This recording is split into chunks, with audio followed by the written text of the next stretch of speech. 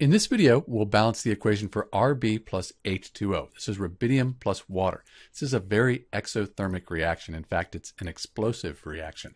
Let's count the atoms up, balance the equation. One rubidium atom, two hydrogens, and one oxygen. Product side, one rubidium. We have one hydrogen here plus the two here. Don't forget those, three. And just one oxygen atom.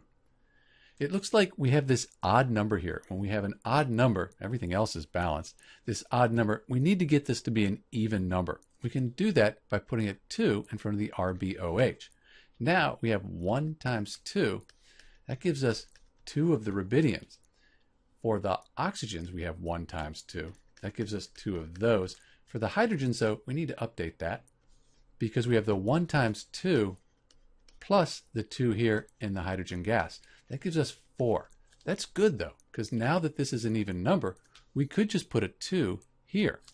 2 times 2, that'll give us 4. We've balanced the hydrogens. 2 goes to everything here, so 1 times the 2, that gives us 2. The oxygens are balanced, and the rubidium here, it's all by itself. So if we put a 2 in front of this, it won't change any of the other elements. We have 1 times 2. That'll give us 2. We're done. This equation is balanced. The key here, we had that odd number of hydrogens. We needed to get that to an even number, and that's really what made this a much easier equation to balance. This is Dr. B with the balanced equation for Rb plus H2O.